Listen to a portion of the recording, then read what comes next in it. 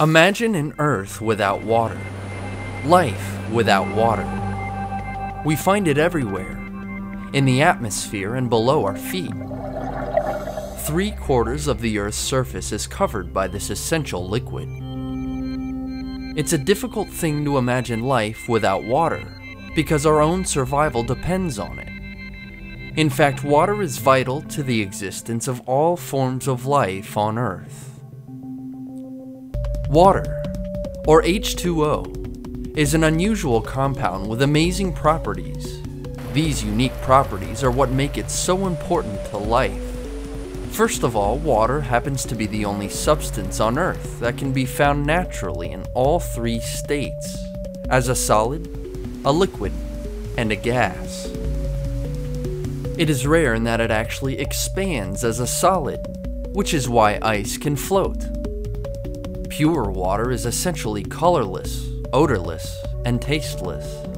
Water has a neutral pH, which means it is neither acidic nor basic.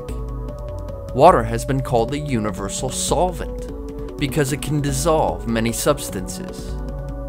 Wherever water goes, either through the atmosphere, the earth, or through our bodies, it takes along valuable chemicals, minerals, and nutrients.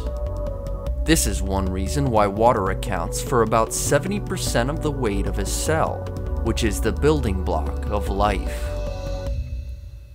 Water has high specific heat, which means it absorbs a lot of heat before it changes temperature. This is why water makes a great coolant. This is also why oceans, lakes, and water vapor in the atmosphere help to regulate the Earth's temperature. Water molecules are sticky. They attract to each other, which is why water tends to flow together, fall as raindrops, and bead up on the surface of a leaf. This property is the result of cohesion. To understand cohesion, let's imagine we're recreating a water molecule. A water molecule is made up of two hydrogen atoms and one oxygen atom. Because of the molecule's arrangement, and the electronegativity difference between the hydrogen atoms and the oxygen atom, the molecule becomes polar.